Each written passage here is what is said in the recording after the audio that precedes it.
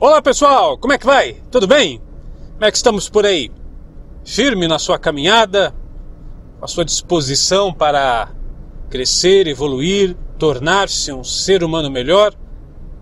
Comigo aqui tá tudo jóia e vamos em frente, porque a vida é assim, sempre em frente, não é verdade? Essa semana teve uma mulher, uma moça que me escreveu fazendo uma pergunta lá na. Porque lá no meu site, no crisalmeida.com, ali embaixo tem um, um formulário de contatos para perguntas, tirar alguma dúvida tal. E ela me escreveu fazendo uma pergunta X que não vem ao caso agora. E aí eu respondi e tal. E ela ela questionou no e-mail. Ela, eu respondi, aí ela retornou de novo se era eu mesmo que estava tava respondendo a, a, mensagem dela ou se era uma outra pessoa, um secretário, uma secretária tal, né? Porque ela jamais imaginaria que o Cris Almeida iria responder para ela. Olha, gente, eu eu sou uma pessoa realmente muito ocupada, eu tenho muito o que fazer, mas quando você vê lá na mensagem que sou eu que estou assinando, é porque sou eu mesmo, né? E ela ficou impressionada com isso. Sei lá, talvez porque viu meu site, o meu canal no YouTube, o trabalho da Unidarma, os produtos da loja.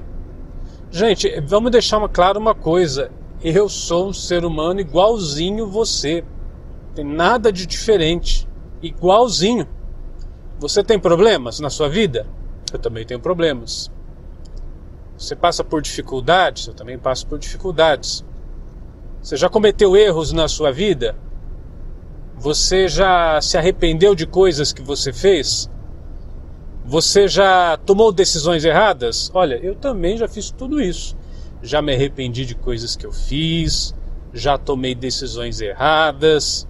Sou um ser humano igualzinho você. Igualzinho, não muda absolutamente nada. Vou no banheiro, faço xixi, faço cocô, muda absolutamente nada. Agora, existe uma pequena diferença. E aí vamos ver se você nesse aspecto é igual a mim ou não.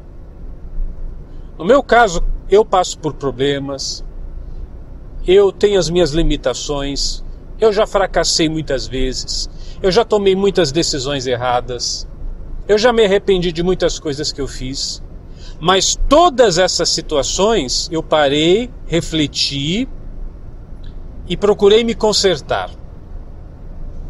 Procurei na próxima tomar uma atitude melhor.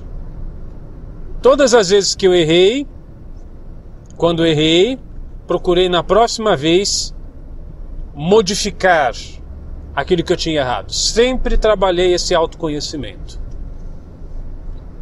E aí então, se você é assim também, você erra, você tenta consertar, você fracassa, você levanta e na próxima tenta fazer direito. Você toma uma decisão errada, trabalha o seu autoconhecimento para da próxima vez decidir de uma forma melhor. Então você é igual a mim. Agora, se você se contenta com o seu erro, com o seu fracasso e não faz nada para mudar, Aí me desculpe, aí nós somos realmente muito diferentes. E eu gostaria que você refletisse sobre isso. É uma coisa importante para você pensar. Uma das frases, ou um dos conceitos que eu gosto muito é o seguinte: não importa o que a vida faz ou o que a vida apresenta para você. O mais importante é como você reage às situações. E todos nós podemos dar uma resposta melhor para os problemas que a gente atravessa.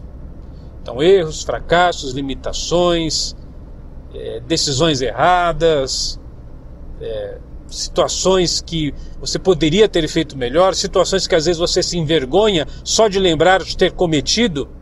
Eu já passei por tudo isso, mas todo dia eu procuro me melhorar. Todas as noites, gente, quando eu antes de dormir, eu tenho um papelzinho, já falei isso em outras palestras. Eu tenho um papelzinho tem algumas perguntas. Uma delas é o seguinte: o que, eu podia ter feito de melhor?